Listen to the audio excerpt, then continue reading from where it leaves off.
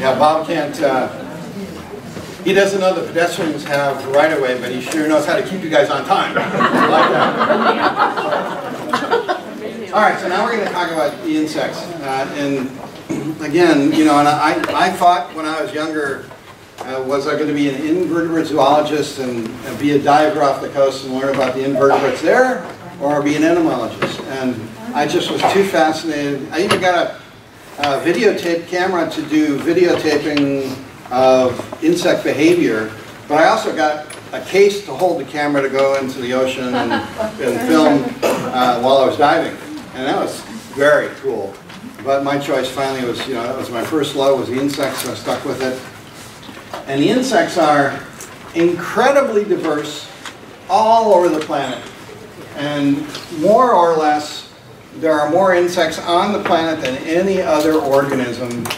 And if you look at the real tiny things, now we're talking about things that they can't really count effectively, that are, you know, microbes and roundworms, things like that are in the trillions. But uh, the insects, as far as an organism like this, is, is the most prolific on the entire planet and incredibly diverse. So why are they successful? Well, there's a number of reasons for it. One is that uh, they can fly. You know, so here you have that, like I keep emphasizing, a creepy, crawly, crunchy organism that can fly and disperse itself into different environments. And then it will adapt to those environments. And so it's very adaptable. So a uh, great number of species. I'll show you a, a pie chart here in just a second. About half of all living organisms are insects. And that, you know, I'm biased because it's insects. But like I said, if we use roundworms or something, in numerically, the roundworms would probably overwhelm them. I, in fact, probably tube worms in the ocean probably is much more than any of the other insects as well, except maybe ants, I don't know. All right. Uh, the largest group taxonomically are the beetles. So there's basically a beetle for everything you can think of. There's a beetle for the soil, there's a beetle for a tree, and there's a beetle for every tree, a different beetle. There's a beetle for every plant. There's, uh, I mean, it's just amazing. The beetles are so diverse on the planet, it's incredible. Uh, the, followed by then the butterflies, different kinds of butterflies and moths, different kinds of wasps, ants, and bees, and then flies. So pretty much pretty diverse across the entire planet. This is so old. I've been giving this for a long time. And so this says uh, 800,000 to a million species. This is in my entomology book that I learned in 1980. And then it's, so then, I don't know, it was probably 10 years ago, I wrote in 30 million. And now they're estimating it's, it's so far more than that because we're using the genomics uh, to determine species that it's, it's a joke what we really don't know about this planet. It's really incredible. And I, the number of species per day or year that we find is just incredible as well. Very diverse. Okay, small size, very productive, so high reproductive potential, a very short generation time for many insects. So with some insects like the aphids that I did in studies in greenhouses, it's three days and you have another generation of aphids coming up on the plant. That's pretty fast. Uh, they can handle really tough environmental extremes through dormancy or diapause and then estivation. There's a difference here, diapause and estivation. Uh, for instance, in the, in the heat of the summer in the chaparral, they estivate. And whereas in the cold and the winter, they can diapause and, and take the extreme. So there's a difference there between uh, diapausing and estivation. So they adapt to changing conditions. So let's say they've adapted to an environment and all of a sudden the environment goes from tropical to subtropical, they can adapt to that. And they disperse by flight like I mentioned. This is the reason why uh, invasive insects are so much of a problem. And it's because when they come to an area that they're not typically found in, they can adapt to it. They find new plants that they haven't used for their as hosts in their native range, and their natural enemies are not in the new range. So they adapt and they proliferate and explode and go crazy and they destroy uh, incredible numbers of plants in our environment. And the list is so long it's not even hardly worth talking about. Uh, how bad it can be, like the Asian citrus psyllid, which may, and I, and I keep saying this, and it's happened in Florida, but, uh, and Jennifer can confirm some of this, but landscape or backyard citrus will just flat out disappear. And it's because of the regulations that's going to happen to the citrus nursery industry, not being able to move plants. And then when you get it in your environment, if the Asian citrus psyllid has a disease that lands on your plant, in three to five years, it's going to be dead anyway. And your fruit is all bitter, so you're not going to use the fruit. We're not going to have citrus in the backyard. So we're hoping to stop that, but it's it's doesn't look so good at the moment. So here's that pie chart. So uh, right here you can see the, the snails and slugs are right here. All other arthropods, spiders and centipedes are right here. And then the chordata, and right here we start with the flies and go all the way around to the grasshoppers. If we put all the animals in a pie, uh, this much of the pie would be insects. they are incredibly important in our environment. And I, I mean, I can't emphasize it enough. They're at the bottom of the food chain for a lot of animals. And so, I, and I think that's incredibly important. But they are in all ecosystems. Basically, they eat plants, they are predators, they're decomposers. And I've heard this statistic before when I was uh, young, but if we didn't have flies, we would be walking in carcasses because the animals would not be decaying fast enough in our environment. They're pollinators, they're vectors, of many diseases. And then, uh, you know, this is really big, the forensic entomologists, uh, literally, you know, they can take, um, they use pigs because they're so related to humans uh, from a, a, biological standpoint. But they have these pig farms in, uh, I think it's Kentucky and Washington, where they lay the pigs out, and then on an hourly basis, they're looking at what organisms attack that dead pig. And by doing that, they can determine forensically with a human that's been killed or that has died, how long it's been in that spot by the types of insects that are on it. It's pretty amazing. And a world without insects uh, would not survive at this point. There's just no way. Biology in our, in our organisms. I love this. I get questions, the, the, the common questions are, you know, why are there flies? Or why are there mosquitoes? You know? And it's, if we didn't have mosquitoes, there'd be almost no fish because the mosquitoes are one of their, uh, one of the, the fry, the small fish eat mosquito larvae. And so it's one of their principal foods. Uh, there are other things they can eat, but mosquito larvae are pretty, pretty big. And so, and it's the bottom of the food chain. So the smaller fry and the other small fish will eat the mosquito larvae, and then the larger fish will eat the smaller fish. So it's at the bottom of the food chain. So I get this asked all the time. And then, you know, I always answer, well, you know, why didn't Noah just swat the two darn flies or mosquitoes? And we wouldn't have them now, right? Anyway. Okay, so this is important. Bugs are involved in every part of your life. And I'm going to try to illustrate it. So, how many of you like peanut butter? I love peanut butter, especially, you know, morning and toast, it's warm, it melts. Oh, I love peanut butter. And uh, ketchup. Okay, girls, ready? Chocolate? Oh, yeah. All right, well, those, those three things, and the peanut butter being principal, uh, have more bug parts in it than any of the other foods that we eat. It's really true. And it's principally because uh, the, the, like the peanut will have grubs in the peanut.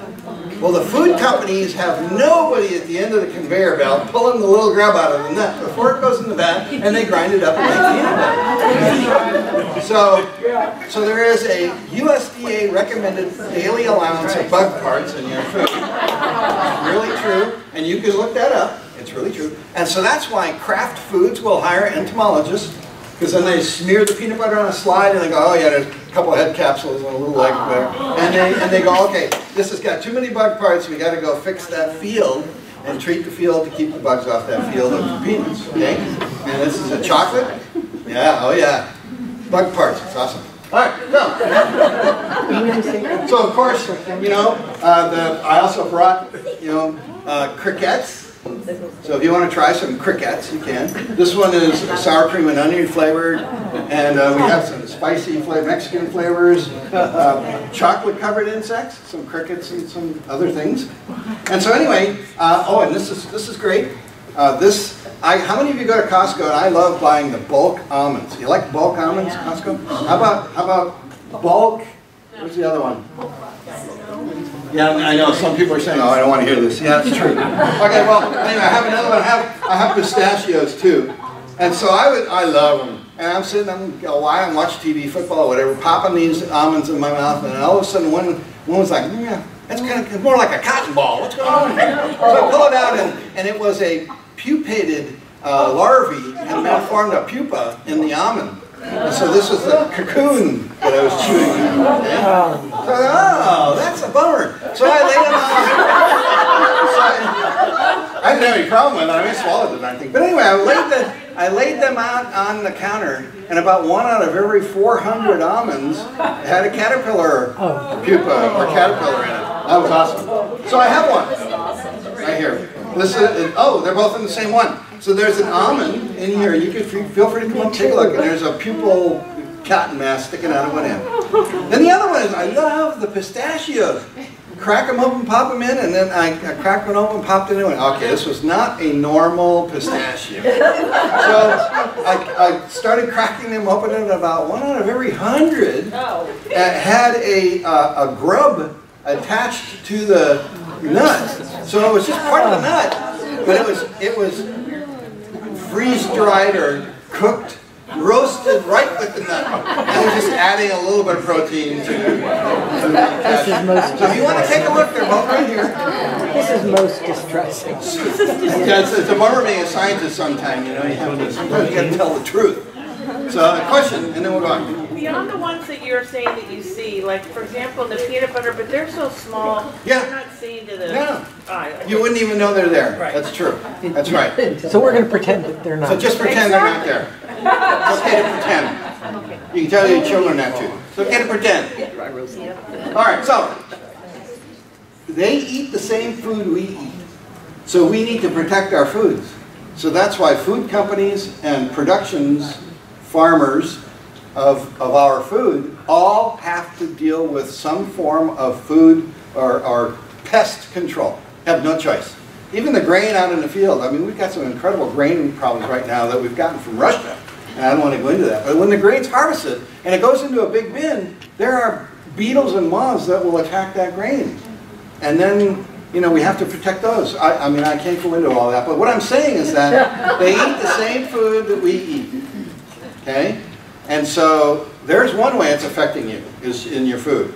I love this one too. They eat your house. Yeah. So you have termites that eat your house. Yeah. You have bugs around the house, like crickets and carpet beetles and fleas. And, and so there's urban entomologists that study bugs around the house. There are agricultural entomologists that study the bugs in agriculture. There are also, like citrus entomologists that only study citrus. There are floriculture entomologists who study floriculture and nursery crops because the, those plants have to be perfect or they don't get sold. They can't have bugs on them to get sold. Um, and I could go down the list. I mean, it's so long. So in the Department of Entomology at UC Riverside, what we have are a whole lot of biologists from the biology department at UC Riverside. Why? They can't get a job. But you can get a job as an entomologist. Vector control. There's one right across the hall here. Vector control, the Department of Environmental Health handles mosquitoes, gnats, uh, the, the new vectors that we've just recently gotten. Um, you know, I, I could get, there's a long list of new things that we just got. But I, I'm showing you that the insects are involved in everything you do. You just don't recognize it. They're really there. And if you want a job as an entomologist, it's easy to get a job.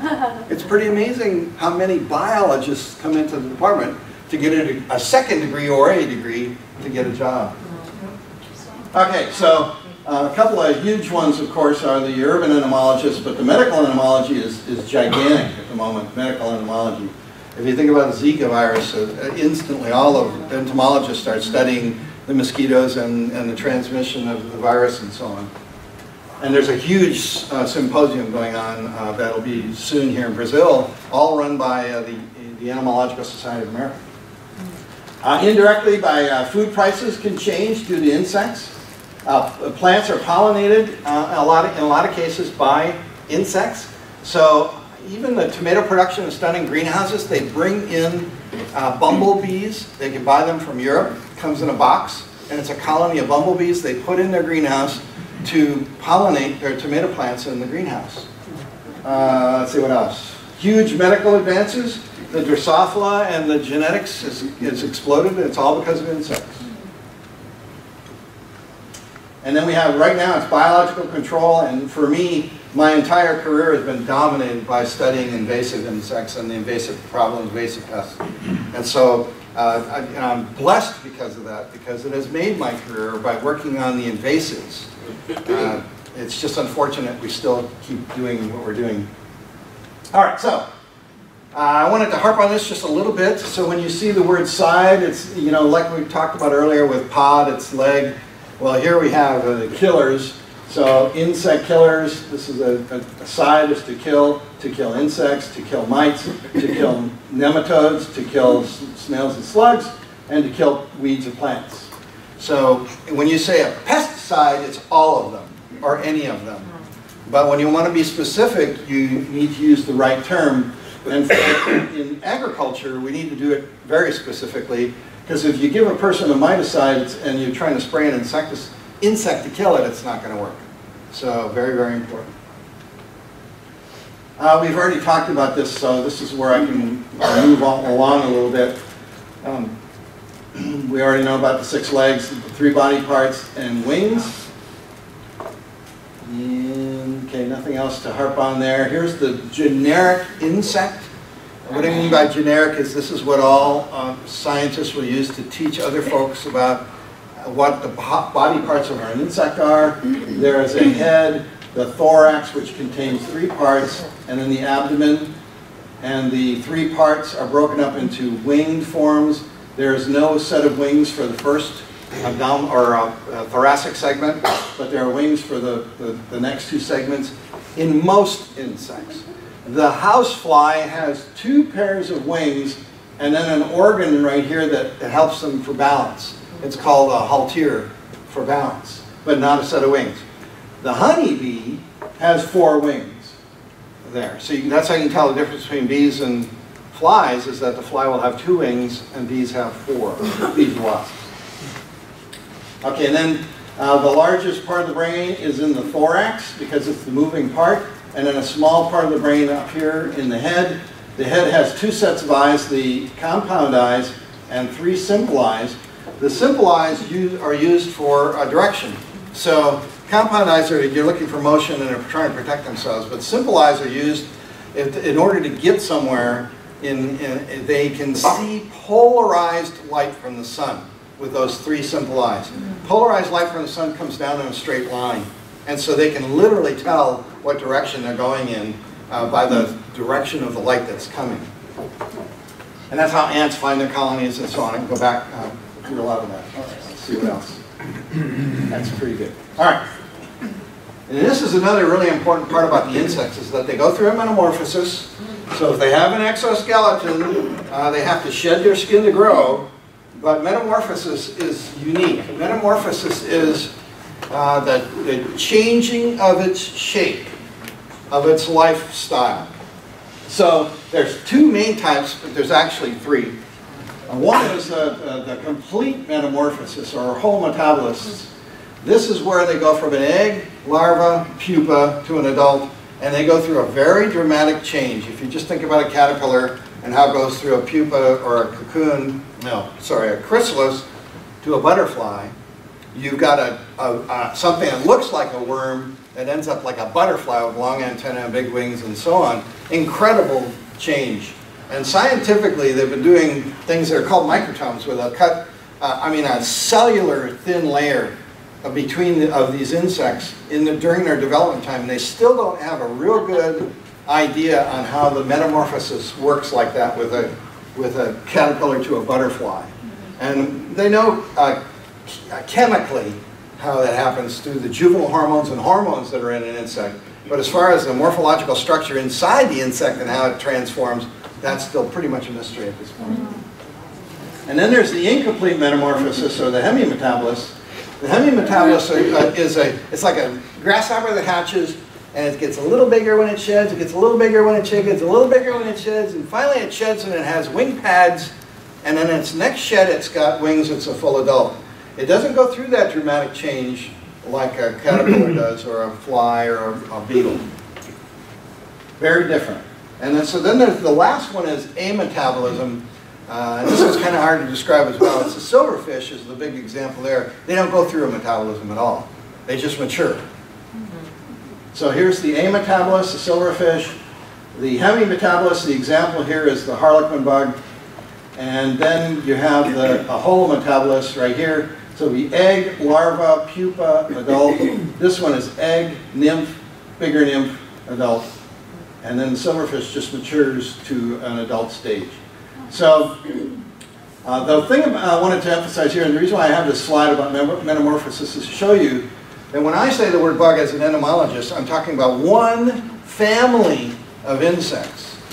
The rest of them are insects. But when you talk about the bugs or the true bugs, they all have this characteristic. They have this triangle right here. Oh, really? So the wings overlap towards the back, so the wings are overlapping here, and then they have a triangle right there. And there's an enormous number, and we'll, I'll show you some others here in a little while. Those are the true bugs. They can be predatory, they can be parasitic, and they can also be uh, phytophagous, so they can eat plants. And, and most of them cause really bad damage to plants. So we'll talk about some of that. All right, so then this is the other really key character. As uh, master gardeners, you're going to end up with a lot of this. You know, if you if you're end up uh, answering the telephone or you're getting photos from somebody who's take an electronic photo and you send it, they send it to you, and they said, I don't know what's causing this damage. The damage on the plant can typically tell you what the insect is that was feeding on it, or at least the type of insect that was feeding on it, and that's due to the mouth parts. So you have the, I'm not going to talk about a housefly which has a spongy mouth part, but if you look at other flies, uh, they can have piercing mouth parts that can cause us problems. They're vectors. Chewing mouth parts. So if the leaf is chewed, it's going to be by an insect that's, that's that can cause chewing damage. Like a beetle, a leaf-feeding beetle, or a caterpillar. And there's other examples. Okay? Um, if you see damage in the center of the leaf, typically, and it's not doesn't hold always true, it could be a snail or a slug, because they can't grab the edge of a leaf. They like to go in the center of the leaf and they use their rasp to rasp the leaf to make a hole. And it'll be a round-edged hole rather than a chewed-edged hole. So there are, that's how you can kind of tell differences among the pests that you're, that you're coming in contact with. The one that's the most damaging are those, and this, this is a honeybee example, but this is the same kind of mouth parts. There is a proboscis, and inside the proboscis there is a tiny, thin hair um, filament that they can poke down into a plant really deeply, way down into the parts, looking for either the xylem or the phloem in order to feed from. Now, some of these insects with piercing will only pierce a cell. Some of them will go all the way down between cells and find the phloem. Some of them will go through the cells and right to either the phloem or the, or the xylem. All of those are different because some of them will transmit viruses because of that, and some of them can transmit other diseases to the phloem and xylem. All right, so those are the most damaging and the most dangerous to plants, are the piercing uh, mouth parts. And you can think about that with, with, with us, insects with us, those that pierce our skin and, and get into our blood and so on, those are the ones that transmit diseases to us. And I, so let me give you an example. How many of you think the cockroaches are a deadly killer, carry diseases, and run across your food and you're all going to die? Okay, of course. All right, good. How many cockroach plagues have you heard about in the entire history of the planet that have killed people? Yeah, none. You know why? They can't carry a warm-blooded disease. They really don't. Um, again, it's another fallacy. You know, Orkin and those guys, they're going to go out and they're going to they're going to tell you you're going to die because you got cockroaches in your house, and it's not true. And it's the only way you can get sick is if the cockroach ran across some diseased food, ran over your food, and you ate it right away. You might get sick. And that's a pretty slim chance, really. Cockroaches are associated with dirty environments. That doesn't make them a disease carrier. Okay, anyway, just, sorry, got it. It's another pet peeve, okay? And I love the insects being mimics. Uh, This is one of my favorite things, and I had a, at one time, I had a- an insect box that was all mimics. And uh, this looks like a wasp. But again, remember what I said? They only have two wings, and then there's halteres. This is a fly, but it looks like a wasp. Uh, This is a moth, and when the moth is sitting on its face, it looks like big eyes. Uh, Yeah, isn't that cool?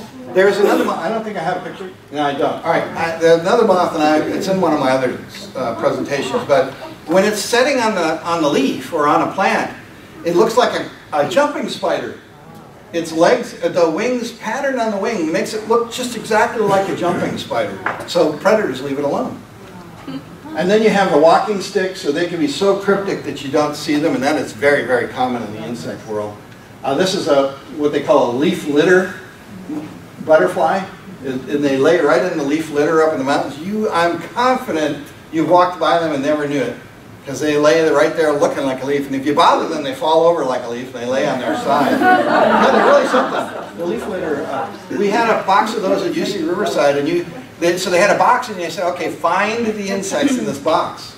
And we had placed uh, bugs on the bark, so it looked exactly like the bark, bugs on sand that looked exactly like the sand, and then the leaf litter bugs on the, on the plant, and it looked, and laying some leaves around that branch, and which ones are the leaves and which ones are the butterfly. That was cool.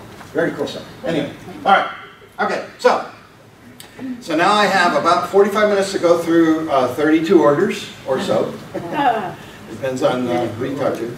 And I, I want to do this, uh, I'm going to stop at the ones that are very serious pests and talk about certain pests and, and the reasons why you should, you should care and know.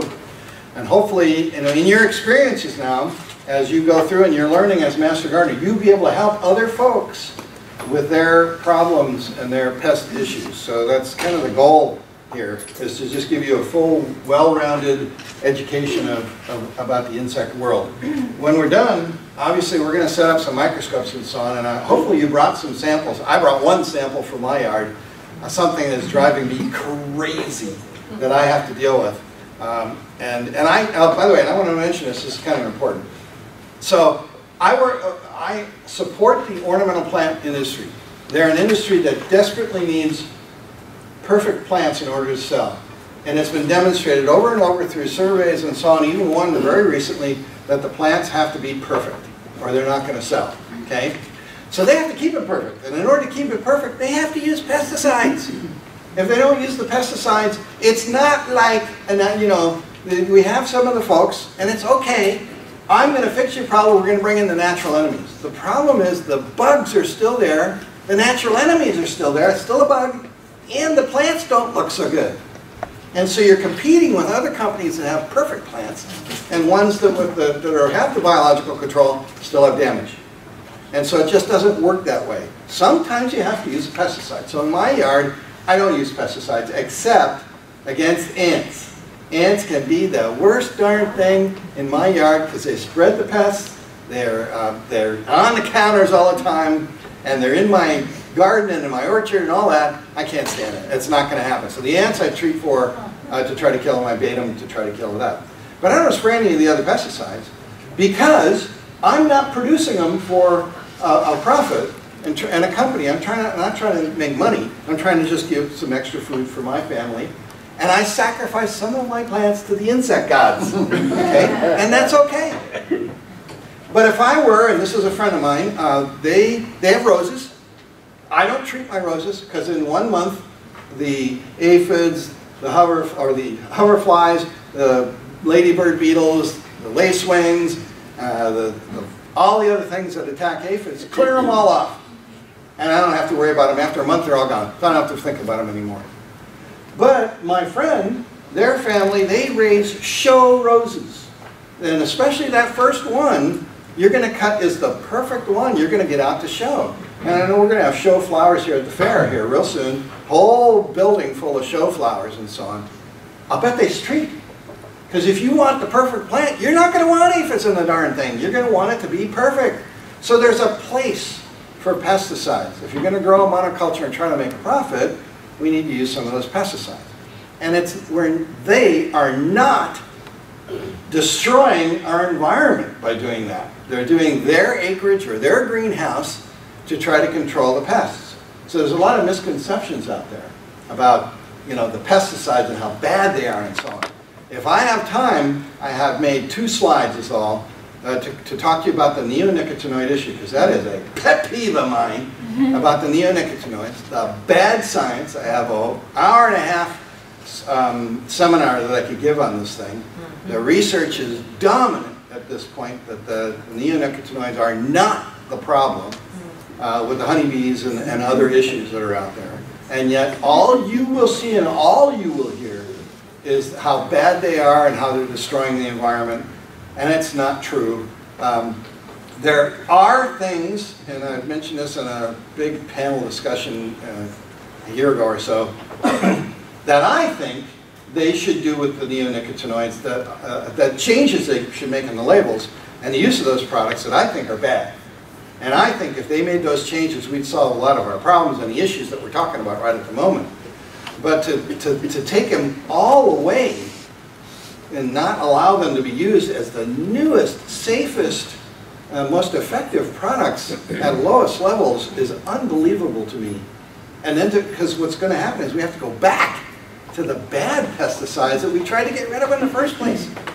So I, I you know, well, all I wanted to do, if I get a chance to show you the slides, is to demonstrate that the, I mean, research being conducted in the last couple of months uh, is demonstrating that, that the neonicotinoids are not having the impact on the honeybees that everybody's talking about, that it has a lot more to do with the varroa mites and the, the pesticides that are being used for the varroa mites in honeybee colonies.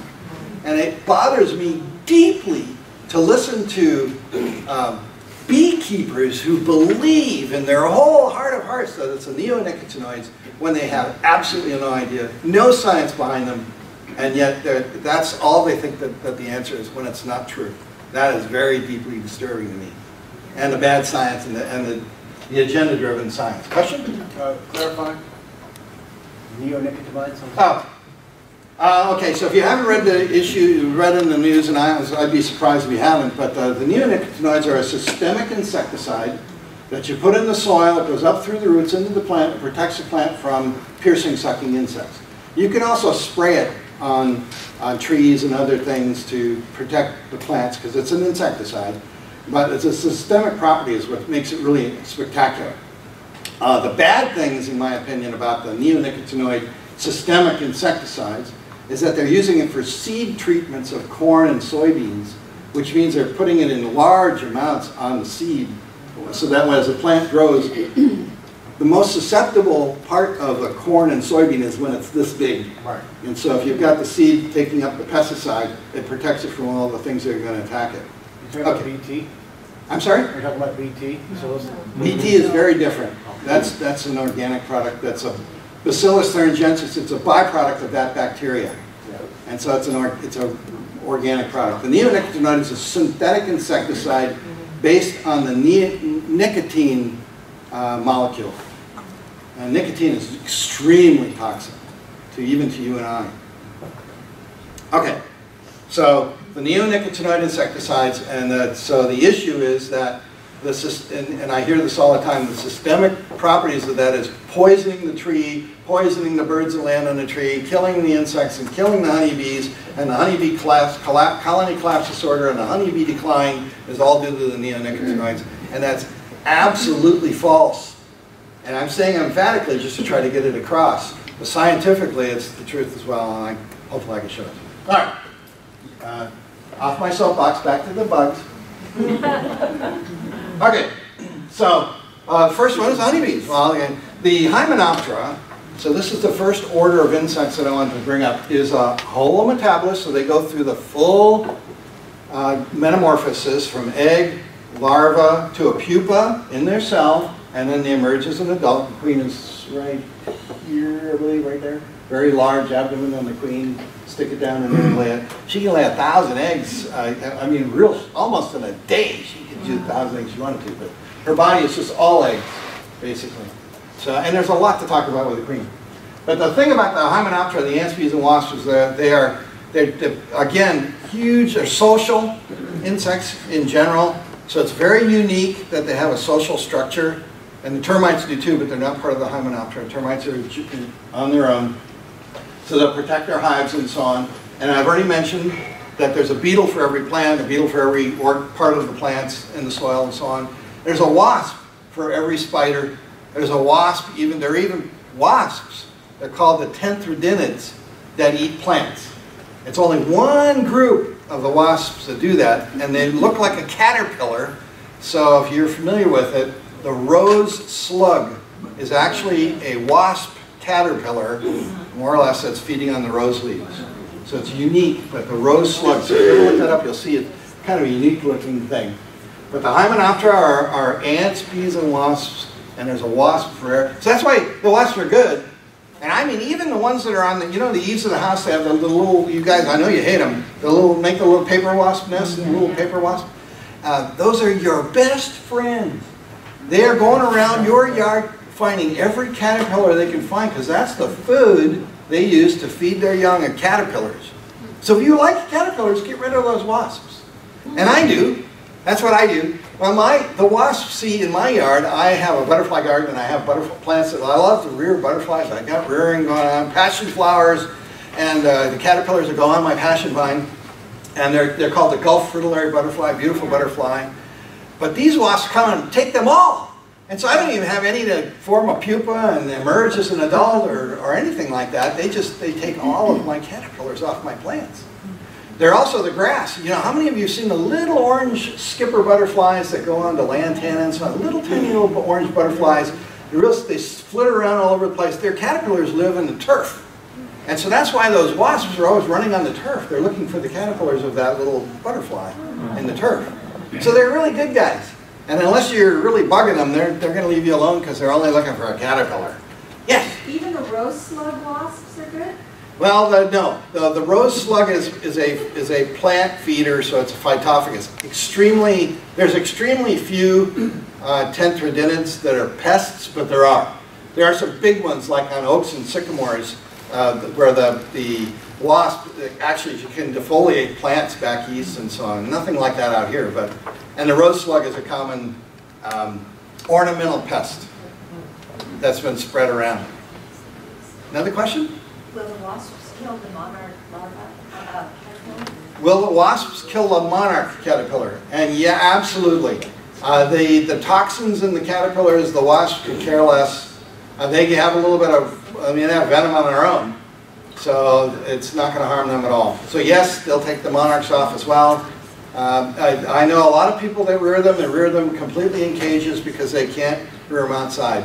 There are not just the big wasps, there are tiny wasps that will sting those caterpillars as well. And you'll have hundreds of wasps coming out of that caterpillar. Yes? Do wasps also eat black widows? Because I could swear we had black widows being, but I saw black widows being carried off by neighbors' wasps. Uh, it's, from the neighbor's yard, and, and Yeah. then we didn't have any black widows for like two years after a wasp infestation. I, I, them. I am, so she asked if there a, a wasp that attacks a black widow.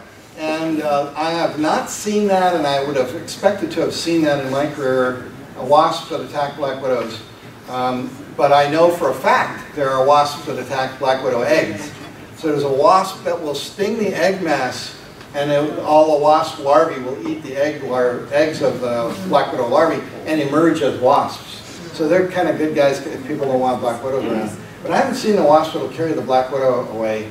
Um, I have seen birds carry full-size black widows away to feed their young.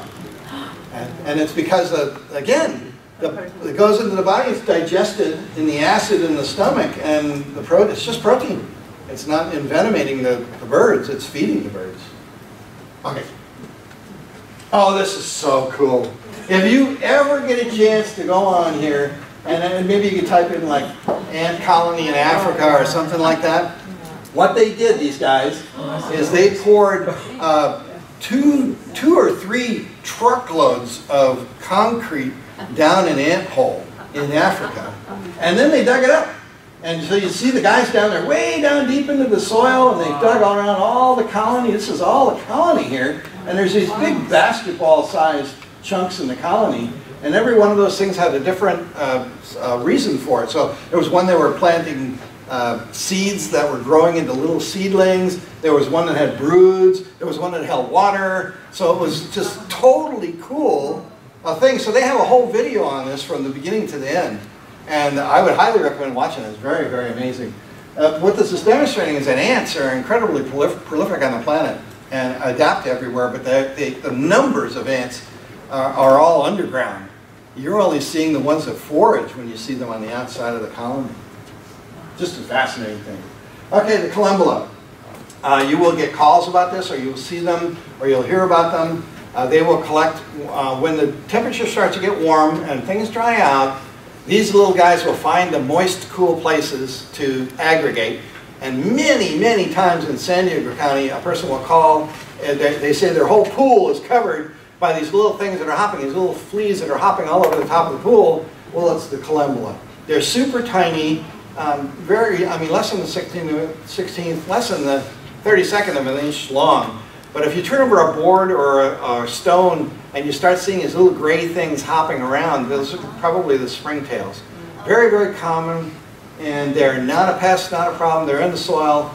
Uh, they, I've even had people have them uh, aggregate in a bathtub because it was a perfect spot for them, cool and dry, and, and they ended up in a bathtub, or cool and moist is what they need, sorry. So the collembola, not a problem, but you're getting hear about them.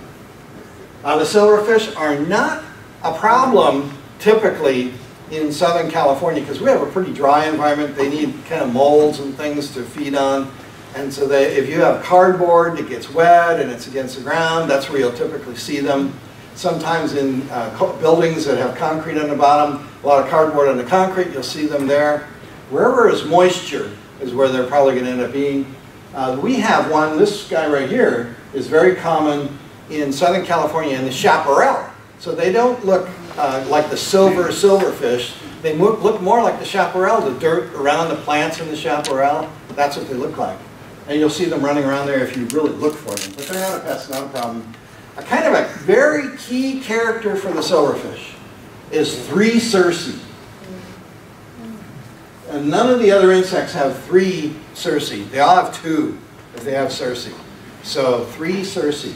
Now the cerci are used, uh, I'll give you an example. If you, if you go like this, there's a wave of air you have just pushed in front of your hand.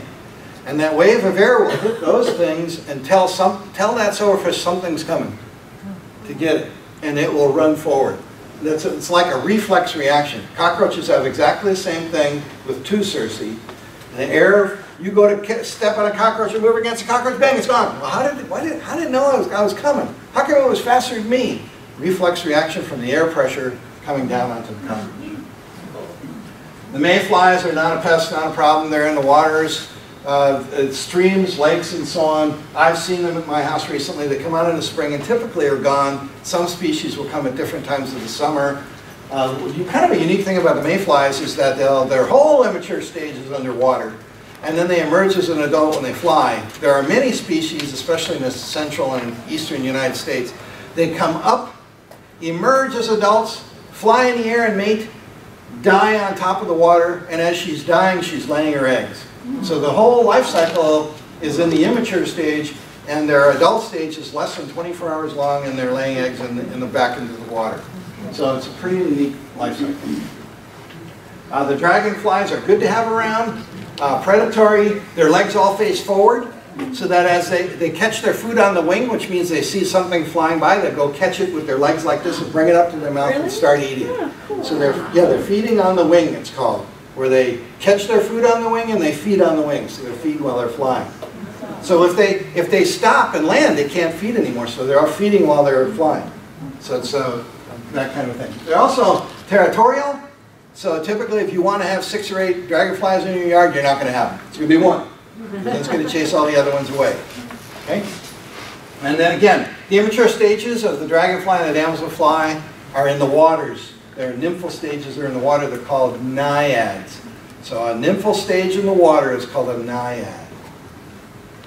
Um, the orthoptera, the grasshoppers and crickets, typically not a pest problem in general, unless there's a bloom of them.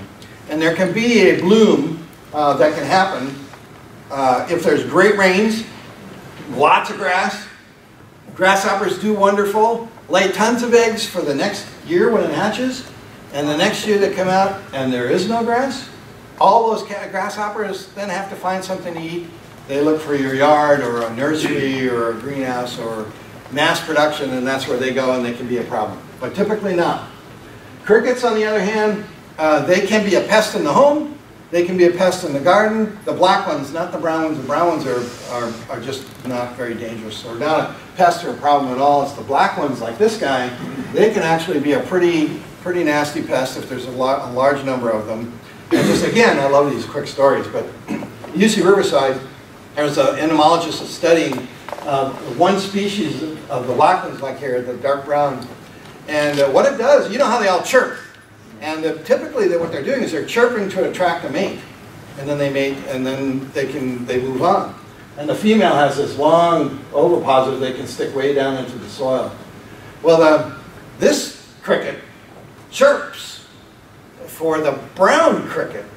So it chirps to attract the brown cricket, and then when the brown cricket shows up, it, it has it for dinner. So that's that's its its food is the brown cricket. But it uses the chirp of the brown cricket to attract it. That's cool. Insect behavior is cool.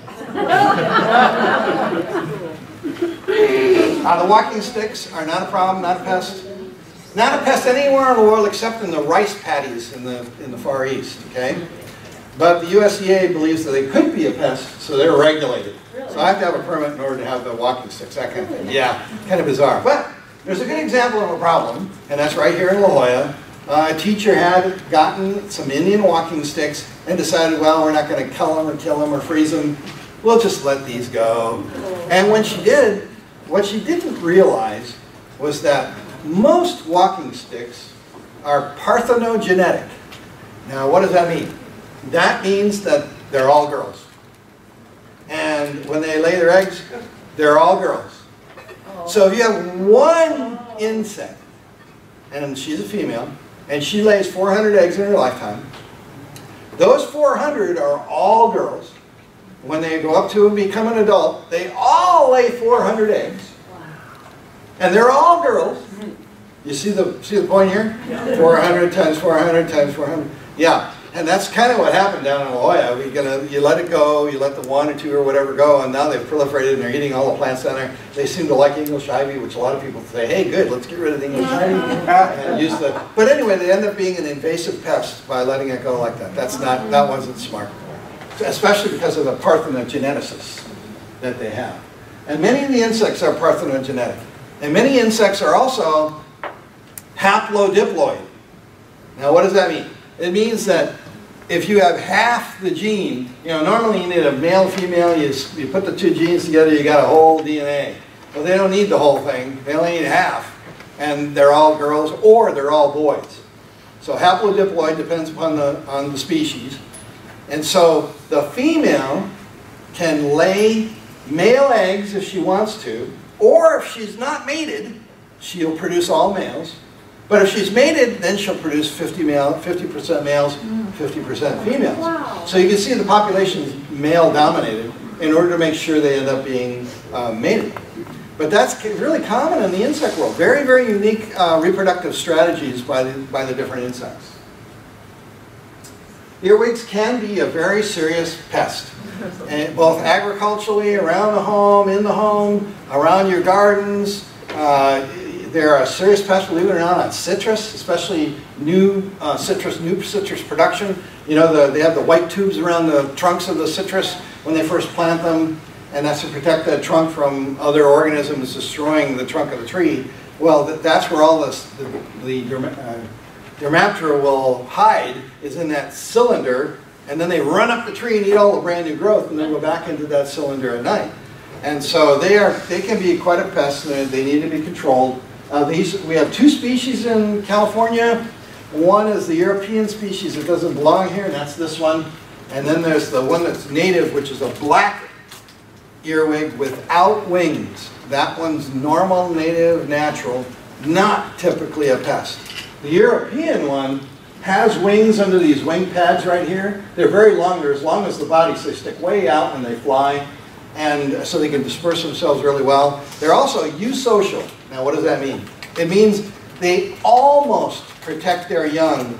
Uh, they, they'll lay their eggs, the male and female will stay around the eggs, then when the eggs hatch, the little guys will stay with the mom and dad for a little while, but that's it. So they're not totally social, but they're eusocial, so they have a slightly social structure, but they're a bad, bad guy. And yes, they can pinch. Um, they, I mean, you have to really grab one. I mean, if you really want to, you can grab one, and it'll, it'll probably try to pinch you. Uh, they have, what's worse, in my opinion, is they have a scent gland. So if you grab one, they stink. So they, the scent gland releases some chemical on your skin, and you, your fingers will stink for hours. Of course, I know, of course. I've had plenty of experience. And, um, but that is to ward off birds again. It's to keep the birds away from eating them. So that's why they end up, they proliferate, they go crazy. So one method of handling them is to put a board in the garden where it's wet. You flip it up, and there's, in the daytime, there it's loaded, and you can take a little hand vacuum and go, and you suck them all up, put them in a bag and throw them away. He's like, hey, no pesticides, Little hand vac, and you dedicate that because the hand vac smelled a little like the earwig. you dedicate the hand vac to the earwig. Termites. Don't have to talk much about those. The giant hissing cockroaches. Yeah, I have one of the, in my box here, I have one of these big ones. It's really big. I wish I, uh, I tried to rear them and it didn't work for me, so I was, no, it's too bad. Um, and we talked about cockroaches, so unless you have questions about cockroaches, move on. The praying mantid. So, the, okay, a couple things about the praying mantid. Yes, you can buy egg masses, okay? And you can go down to the store and buy egg masses. I guarantee you probably already have egg masses in your yard or near your yard already anyway. If you go down and buy egg masses, how many praying mantids do you think will be in your yard? Let's say you get 10 egg masses, 200 per mass. You've got 2,000 praying mantids. You're going to kill every bug in your backyard. How many praying mantids do you think are in your backyard when you've let them all go? That's very good. Just one. They're highly predacious, but they're also highly territorial. And so the, not only is when they hatch, they're waiting for their brothers and sisters to emerge to get a meal. Oh, uh-huh. They also then disperse, and then as they disperse and they start eating the foods and so on, they'll chase others away. So it ends up finally in the end of the season, you'll have one. In my yards, I, I, I can't tell you how many egg masses are on my, my back porch, my patio, the posts, my wheelbarrow, and everything else. And, but when they hatch it, when it's done, and I'm going through my whole yard, I find one. And I might find two. And I have seen um, one of my, the big praying mantids, when one of those great big grasshoppers, you ever see those great big grasshoppers, big brown ones? Yes. It flew across the yard into one of my plants on the other side, and that mantid took off. Why? It was not to get to eat that grasshopper. It was to think it was another praying mantid. It was going to go chase it away. Okay, so that, at least I'm thinking that, but I'm very sure that's what's going on. anyway, you can buy all the mantids you want, but you're sorry. I love this too. I'm going to get to the all the ladybird beetles right now too. So how many of you buy ladybird beetles and release them in your yard? Uh, no, oh, that's too bad. Okay, so how many ladybird beetles do you think are going to be in your yard when you get that big container home, you open that sucker up and let it go? How many ladybird beetles stay in your yard? None. Zero.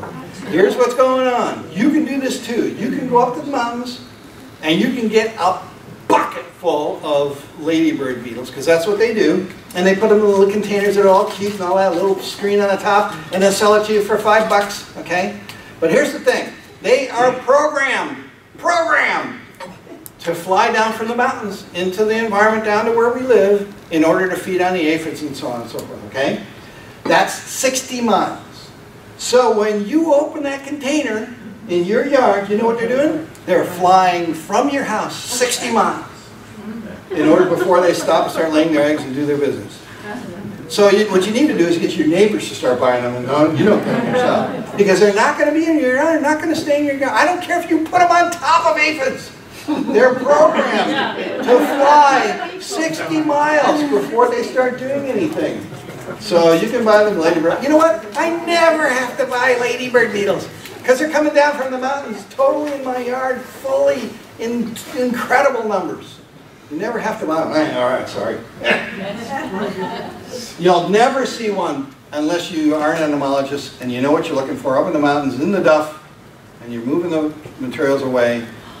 Uh, this is a Zoraptera, and even the entomologists are arguing whether this is an insect or not.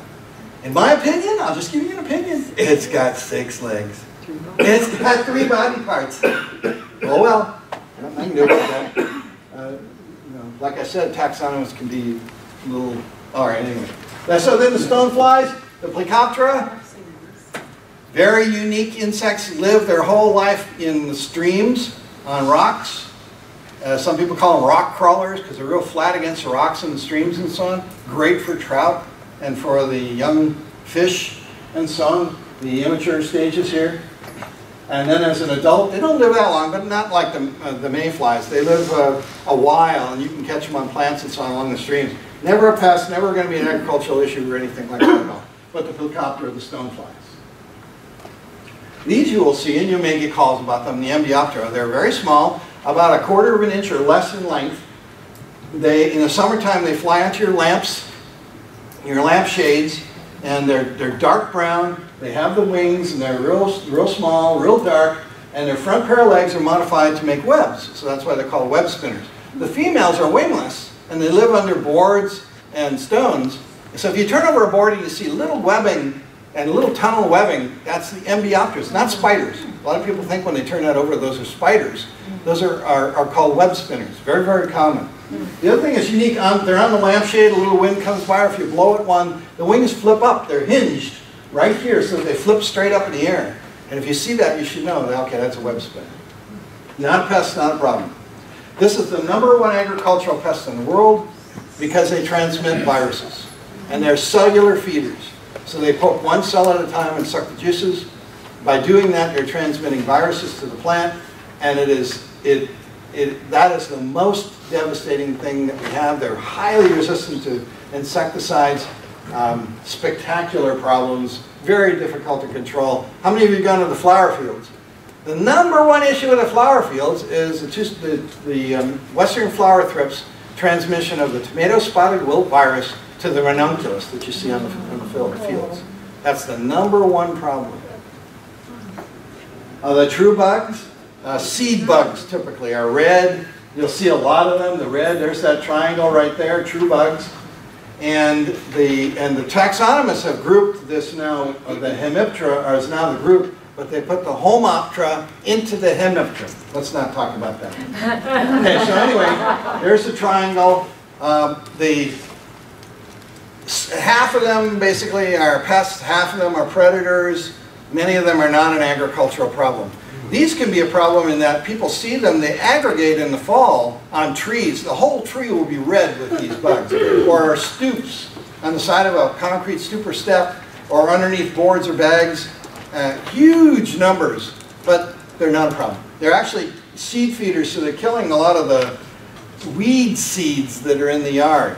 Uh, the problem ones are things like the, the milkweed bug that are feeding on the milkweed seeds and causing damage to the terminal growth and flowers of milkweeds or the butterfly weed plant. Uh, the milkweed bugs can be a problem. All right, and here's one, I, you know, I, I have a whole presentation, hundreds of photos of the most spectacular bugs on the planet. This is a leaf foot bug, so you can see why it's called a leaf-footed bug. Uh, and it's, if you put this bug on a croton that has these same colors, you will not see this bug. And yet it's a plant feeder, uh, feeding on the, the xylem or phloem. This was on the, on the xylem. And here's the Homoptera I was just talking about. These are the number one invasive pests on the planet because they're so hard to see, uh, live in the cr cracks and crevices of plants, uh, under duff. Uh, the eggs are so tiny you can't see them, and then we're spreading them all over the planet because of that. And so the number one invasive pests, leaf hoppers, whiteflies, mealybugs, those are the kind of pests that are very, very, very serious. Uh, and should always be watching for it, and very hard to control. The mealybugs are really difficult, so can the whiteflies be.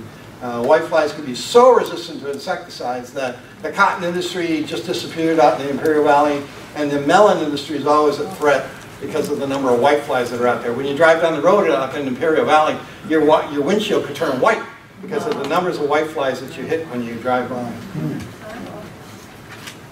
And then, okay, you won't have to worry about these.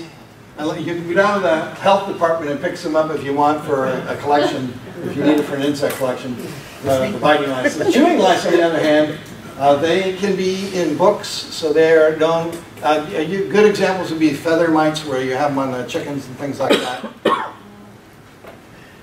And then beetles I talked about, go through metamorphosis, the big white grubs that are in the ground. I found one this morning. Oh, you'll love this story. Okay, so I put, I get some, from my compost pile, I put pots together and I put seeds in the pot and I grow them under our windowsill. We have a real nice glass windowsill. And then I can put them in the yard, okay? So this morning I get up and I, I- none of the seeds were growing. I thought, what the heck, they're not sowing, what's going on? And this morning I saw a great big, uh, one of those white grubs that feeds on, that turns into the big green fruit beetles in the summer. And it was crawling all around, and one was going around, circling in the pond, around. And now I know why there's no seeds in there, or no seed uh, production, because it was eating all of those. So anyway, the grubs can be a serious pest, especially in turf. Here's one. So this is uh, a single meal grub. And Only one, one grub for this for a whole meal. No doubt about that. Cool. So this is how big they are when you want a rhinoceros beetle. These come from the elephant poop in Africa. Piece of cake. Caddis flies are live in the water, live in the water most of the time, so you only see them when they come out. Not a pest, not a problem. Caddis flies, fleas, serious problem all the time. They feed on our blood. They can transmit blood diseases. Okay, and they're a real serious issue. We have really good, really safe pesticides to handle fleas now. So. And I know many of you and I do Frontline at home for your dogs and cats, dogs especially, can keep the fleas off. Frontline is the neonicotinoid insecticides that nobody wants to use. Put right on your animal, right into its bloodstream, doesn't harm the animal at all, not even at all. But if the flea feeds on it, they die. If the flea, now the, these poop specks are from the flea. These fall to the ground, carpet, and then the, the immature fleas feed on those, Yeah. and that's how they develop into an adult flea. That's why you can never really get rid of them. Well, the specks have the neonicotinoid in them too, so when the young feed on it, it kills them too. You've eliminated your entire problem. But it's that darn neonicotinoid systemic insecticide. One of the best things that we've ever developed in a long time. I need to, sorry, I need to keep going because I'm already out of time. You know, these are my, my colleagues every year, every two years, we get together and there's these three ladies, three of my colleagues who do this. They, uh, they will dress up in one way or another. And this time it was flies. So rather than show you a fly, I thought I'd show you my colleagues. Yeah. One of them's from Oregon, one's from uh, New Hampshire. Where's the other one from? Anyway, oh well. What can I say? All right, so the diptera of the flies, uh, when they make a pupa, it's called a puparia. So it's a little different, but it's the same thing. It's a dramatic change from a maggot to an adult. Many agricultural pests, and the most common one here is the leaf mining fly that make the white mines in the leaves. If you, go, if you have any melon plants in your backyard, toward the fall, you'll have the whole melon leaf will be mined with leaves, are full of mines that the maggot will make from that fly. It's a very small fly, but they can really damage the plant. Uh, you'll never see a scorpion fly. There's one species in Northern California. These are all over the chaparral. They're called snake flies because of their long neck. Very good predators, both as an immature and as an adult. So they're a lot like a green lacewing, but bigger. And they're metallic green, so they're pretty easy to see with the long, that long tail. Real clear wings. Oh, these are awesome. Huge, about three or four inches long, big wings, only found in the mountains and big lakes. Called Hellgrammites as an immature. Hellgrammites. And they're great pre- uh, food for uh, trout, so if you go fishing, they're great. But you'll never see them, you never have a problem with them, unless you're black lighting for them at night like I do. Uh, the Psocoptera are in flowers, feeding on pollen. So typically you don't see them and they're not a pest ever. I have not had a sosa that's a pest or a problem. These are good guys. The lacewing. I went out this morning and I took a leaf sample I'm going to bring out to show you. It has a bug on it. And uh, my plant that I took that leaf off was loaded with the eggs of the, of the lacewing, that long stalk with the little white leg, egg at the end. Really good guys. You'll never see one. This is a, an insect that parasitizes the brown, that wasp, the paper wasp. The body of that insect is inside the body of the wasp. And so it's deriving the nutrients from the blood of the wasp. And then it emerges in an adult from the pupal cases. And then it looks like this extremely unique looking insect, nothing anywhere like it, but it's so tiny and you'll never ever see them. I, I've seen only emerged ones on the backs of the bodies of the wasps. Only if you go to the Arctic will you see this insect. And you have to turn over rocks to find them. The, the grylloblattids. And then there's the butterflies. And many agricultural pests, the vast majority of them are moths. And the caterpillars from moths. Vast majority. Not the, not the butterflies per se. And that's it. So I went over five minutes or four minutes or so. And Bob's already saying, hey, I, I failed the test. So Thank you.